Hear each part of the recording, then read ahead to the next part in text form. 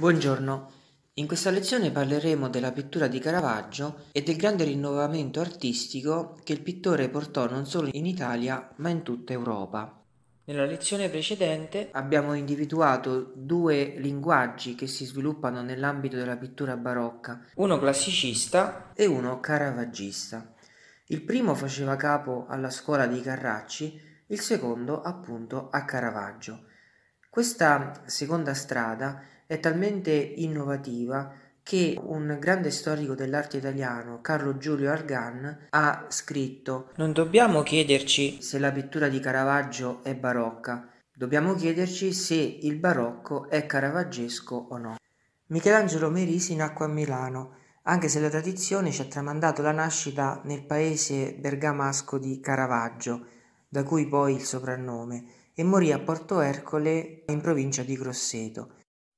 La sua formazione avvenne tra Milano e Roma, ma l'artista dovette viaggiare molto anche per il suo carattere irruento che spesso gli procurò anche dei guai con la legge. Analizziamo ora alcuni quadri dell'artista che ci permettono di individuare i caratteri del caravaggismo che si diffuse ben presto in tutta Europa. In questo primo quadro Caravaggio rappresenta la testa di Medusa. La prima cosa che notiamo è che la superficie del quadro non è totalmente piana, è commessa. Questo perché? Perché evidentemente c'è un legame con la storia raccontata. Ci sono diverse storie riguardanti Medusa. Tra le tante notiamo quella secondo cui Medusa era una ragazza bellissima e per gelosia fu trasformata in un mostro, una donna con i capelli di serpente, dalla dea Atena. Questo mostro aveva la capacità di pietrificare tutti coloro che l'avessero guardata. Nella sua storia entra a un certo punto Perseo, l'eroe, che proprio tramite l'aiuto della stessa Atena riesce a sconfiggere il mostro semplicemente schermandosi con uno scudo e individuandolo tramite il riflesso.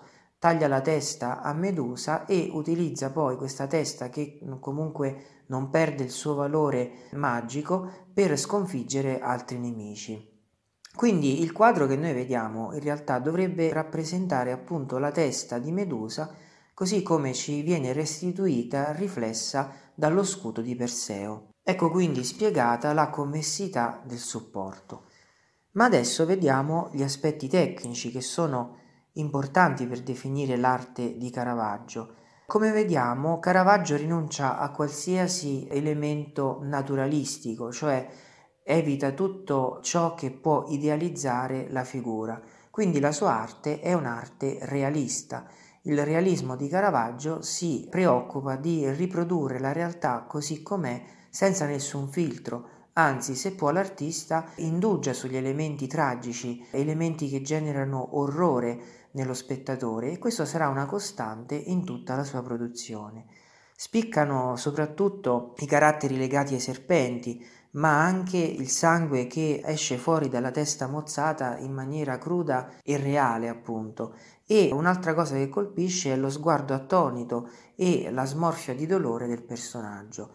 Tutti questi elementi, dicevo, saranno un filo rosso che si riscontrerà in moltissime opere dell'artista. Anche il tema della testa mozzata vedremo sarà riproposto più volte. L'opera successiva è una canestra di frutta, che rientra quindi nel genere della natura morta o natura silente come veniva chiamata nel resto d'Europa. Abbiamo già detto che nel Seicento si verifica la differenziazione dei generi della pittura, per cui abbiamo i paesaggi, le scene di genere, le scene mitologiche o classiche e anche la natura morta. Questo quadro rappresenta un po' il manifesto della pittura di Caravaggio, perché ci rappresenta una natura nel suo disfacimento. Abbiamo quindi la rappresentazione delle foglie secche che si accartocciano col passare del tempo, la rappresentazione della mela bacata, oppure delle foglie che cominciano ad ingiallire. Notiamo subito un estremo realismo, tant'è vero che abbiamo l'impressione quasi di stare di fronte ad un'immagine fotografica. In realtà oggi sappiamo che l'artista si serviva di strumenti ottici per realizzare queste immagini estremamente dettagliate. Lo sappiamo grazie ad un'indagine molto accurata dell'artista inglese David Hockney. Questo artista ha dimostrato che Caravaggio si serviva di uno specchio per proiettare sulla tela tramite un gioco di luci e ombre un'immagine reale, quindi una sorta di fotografia antelitteram potremmo definirla, in modo tale da poter catturare i minimi dettagli dell'immagine. Sappiamo che l'artista aveva praticato nel suo studio un foro in alto e da questo foro entrava un raggio di luce e mentre il resto della stanza era buia. Quindi Caravaggio disponeva il suo modello reale in una parte della stanza e sfruttando appunto il raggio di luce e uno specchio proiettava sulla tela il soggetto che poi veniva ricalcato. Perché l'artista si serviva di questi strumenti ottici? Prima di tutto dobbiamo dire che non fu l'unico. Questi studi sulla possibilità di rappresentare un'immagine in maniera dettagliata erano già presenti addirittura fin dal Medioevo, ma poi fu nel Rinascimento che vennero utilizzati. Ma perché Caravaggio se ne servì? Perché la sua ricerca ovviamente abbiamo visto lo aveva portato nella rappresentazione estrema della realtà, per cui alcune espressioni, soprattutto dei volti doloranti, come abbiamo visto per esempio quello di Medusa, potevano essere resi e riportati sulla tela solo tramite questi strumenti che erano in grado di catturare l'immagine nelle sue più piccole sfumature. Quindi questi strumenti ovviamente non vanno a togliere nulla alla genialità di Caravaggio, anzi l'artista si dimostra attento e curioso per tutte le innovazioni di carattere tecnico e poi se ne serve per le sue opere originali. Nell'opera successiva vediamo un Bacco che secondo molti è un autoritratto giovanile dell'artista. Notiamo qui ormai l'usuale realismo della scena ma soprattutto il tema del vino che abbiamo già riscontrato in altre opere di altri artisti. In questo tema del vino però si inserisce quello dell'ebbrezza per cui qui troviamo una propensione verso l'aspetto più degenere della realtà. Anche in questo caso troviamo una natura morta estremamente dettagliata secondo i criteri spiegati precedentemente. Andiamo avanti con la famosa vocazione di Matteo. Quest'opera si trova nella Cappella Contarelli della chiesa di San Luigi dei Francesi a Roma e è inserita in un trittico, quindi tre opere che raccontano alcuni episodi della vita di San Matteo. Quello che vediamo qui è la vocazione, cioè il momento in cui Gesù entra in una locanda che è tipicamente seicentesca e con un gesto imperioso chiama Matteo che si stupisce e indica se stesso come per dire sono proprio io colui che stai chiamando? Questa vocazione determina un totale cambiamento di vita in Matteo che da pubblicano, esattore delle tasse, diventa l'evangelista e il discepolo. A livello formale notiamo come la figura di Cristo sia accompagnata da una luce laterale estremamente forte, che ovviamente non è più una luce naturale ma è emblema della luce divina, e che ci ricorda appunto quel raggio di luce a cui abbiamo accennato a livello tecnico per quanto riguarda Caravaggio, ma abbiamo anche il gesto di Gesù che è un gesto che ricorda sicuramente quello di Dio creatore nella cappella Sistina. Nella parte sinistra invece abbiamo i personaggi che sono poi il soggetto del racconto che come vedete sono vestiti non alla maniera della Palestina dei tempi di Gesù, ma sono vestiti come personaggi reali del Seicento. Questo a simboleggiare che la grazia divina entra nella storia di ogni uomo di ogni tempo. Dobbiamo qui ricordare anche il fatto che la Chiesa si serviva di questi artisti nel Seicento per promuovere una nuova religiosità, soprattutto per muovere l'animo dei fedeli alla ricerca della dottrina ortodossa, quindi è una ferma risposta alle dottrine che venivano dall'Oltralpe ed erano essenzialmente eterodosse, quindi si parla della risposta al protestantesimo di Lutero. Nell'opera successiva troviamo la crocifissione di San Pietro. Anche quest'opera si trova in una cappella nella chiesa questa volta di Santa Maria del Popolo e la cappella è la cappella Cerasi ed è di fronte alla famosa conversione di San Paolo proprio perché questi due personaggi, Pietro e Paolo, sono i due pilastri su cui si fonda l'evangelizzazione. In quest'opera abbiamo la crocifissione di San Pietro, che come sappiamo non volle essere crocifisso come il suo maestro, per cui venne crocifisso a testa in giù. Ma la genialità di Caravaggio sta tutta nella nuova scelta del punto di vista, perché questo tema era già stato affrontato, ad esempio, dallo stesso Michelangelo nella Cappella Paolina. Però Caravaggio sceglie di rappresentare il soggetto non frontalmente, ma dal basso, quindi potremmo dire dal punto di vista del povero. E in primo piano troviamo i piedi, che sono piedi sporchi, piedi che hanno camminato per l'evangelizzazione. Quindi troviamo sia i piedi di San Pietro, ma anche i piedi di colui che lo crocifigge. La scena quindi rinuncia ad ogni effetto di carattere idealistico e si basa ancora una volta sul forte impatto emotivo che questa scena reale e cruda genera nell'osservatore. Nella cena in Emmaus invece abbiamo la rappresentazione della famosa scena evangelica dei discepoli di Emmaus. Nel Vangelo si racconta che dopo la resurrezione due discepoli sconsolati camminano per strada e parlano di quello che è avvenuto, cioè della morte e della risurrezione di Gesù. E sono tristi perché pensavano che Gesù fosse il Salvatore. A un certo punto vengono raggiunti da un pellegrino che li accompagna per un tratto e che poi loro stessi invitano a cena. Nel momento della cena, nel momento dello spezzare il pane, Gesù si rivela come Gesù risorto e scompare davanti agli occhi di tutti. Quindi qui Caravaggio fotografa, potremmo dire, il momento in cui Gesù si sta rivelando e quasi sta scomparendo perché notiamo già negli occhi dei discepoli lo stupore che segue appunto la sparizione davanti ai loro occhi. Il discepolo di destra spalanca le braccia mentre quello di sinistra seduto sta per alzarsi. A livello formale notiamo anche qui il gioco sapiente di luce e ombra, ma soprattutto a livello compositivo una estrema cura da parte dell'artista. Le linee di fuga, soprattutto quella del tavolo, commerge ovviamente nel volto di Cristo, mentre lateralmente il personaggio che spalanca le braccia ci dà l'idea della profondità della scena.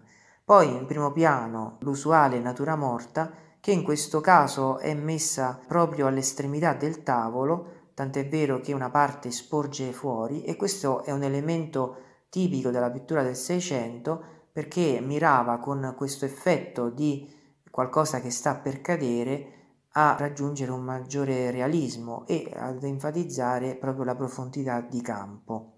Chiaro che tra i modelli che Caravaggio utilizzò per quest'opera c'è il famoso cenacolo di Leonardo che si trova appunto a Milano. Nell'opera successiva abbiamo la Madonna dei Pellegrini. Quest'opera è molto interessante perché ci presenta una Madonna con un Gesù bambino fortemente reali ed è una rappresentazione questa della Vergine che si distacca da quelle manieriste se noi pensiamo per esempio all'elegantissima Madonna dal collo lungo di Parmigianino, notiamo una distanza abissale tra le due rappresentazioni. Nella parte destra del quadro, in basso, abbiamo due pellegrini, che sono sicuramente poveri per il loro modo di atteggiarsi e per i loro vestiti, e in primissimo piano, ancora una volta, i piedi sporchi. Notiamo che proprio dal particolare dei piedi sporchi nasce una diagonale che segue la diagonale del rettangolo, quindi del formato del quadro, che ci porta direttamente a Cristo e alla Madonna.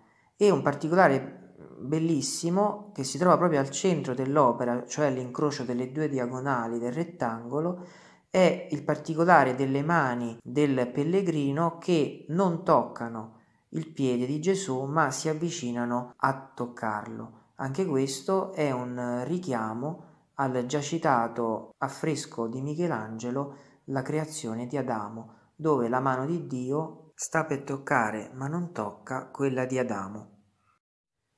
Nell'opera che vediamo adesso abbiamo la rappresentazione della morte della Vergine. Questo è un quadro che fece un grande scalpore perché Caravaggio scelse come modella per la Vergine una prostituta che trovò annegata nel Tevere Infatti vediamo che eh, la Madonna presenta un ventre gonfio che è tipico degli annegati.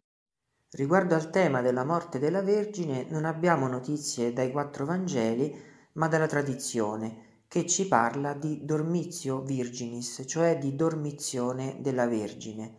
La Chiesa ci dice che non poteva essere toccata dalla morte colei che era la madre dell'autore della vita, per cui subito dopo la morte la Vergine ha seguito la sorte del figlio ed è stata assunta in cielo in anima e corpo. A livello formale la scena è inquadrata in un ambiente estremamente buio con alcuni sprazzi di luce che definiscono i corpi. Al centro c'è quindi la Vergine vestita di rosso che è il tradizionale colore del martirio e nella parte più bassa abbiamo la figura di Maria Maddalena che ricorda sia nella posizione ma anche nel vestito un altro quadro su questo tema di Caravaggio mentre nella parte superiore abbiamo gli apostoli che piangono e il tutto è incorniciato da un grande drappo rosso che pende dall'alto. Questo drappo in particolar modo ci ricorda che tutta la pittura barocca è una pittura estremamente teatrale, per cui la scena che noi vediamo sembra quasi esplicitare questo aspetto di finzione che è essa stessa un aspetto della realtà. Se vogliamo trovare un riferimento per una scena del genere possiamo individuare sicuramente Tintoretto che è uno tra i pittori più importanti della scuola veneta. E veniamo a una delle ultime opere di Caravaggio, è il David con la testa di Golia. David sappiamo era un personaggio biblico che sconfisse il gigante Golia non per la sua forza ma perché eh, si votò all'aiuto di Dio e questo è un tema tradizionale nell'arte italiana, basti pensare al David di Donatello, di Michelangelo, di Bernini.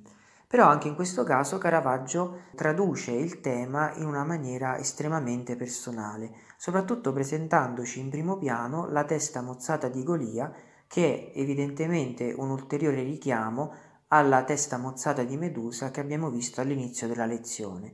Ma soprattutto in questo quadro stupisce il ritratto che Caravaggio fa di Golia, che è in realtà un autoritratto. E sicuramente anche per questa scena il riferimento è Michelangelo, è il Michelangelo del giudizio universale che, se ricordate, si rappresenta in un autoritratto estremamente violento che è quello che si trova nella pelle scuoiata di San Bartolomeo. Come vedete anche nel caso di Caravaggio il richiamo a Michelangelo è continuo, ma in questo caso anche perché i due personaggi sicuramente condividevano un atteggiamento pessimistico nei confronti della vita o certamente tormentato. E in queste ultime due opere invece vediamo un effetto della pittura di Caravaggio sia in Italia ma anche all'estero. Nel primo quadro vediamo una caravaggista tra l'altro una donna, una delle poche donne di cui ricordiamo i nomi nell'arte mondiale, Artemisia Gentileschi, che ci presenta qui Giuditta e Oloferne. Senza entrare poi nel merito del quadro, notiamo solo come l'artista riprenda da Caravaggio sia la disposizione delle figure, la luce, ma soprattutto la violenza. Mentre nel secondo caso abbiamo un'opera di Rembrandt, il grande artista olandese, che come vedete si dimostra fortemente influenzato dall'aspetto luministico della pittura di Caravaggio.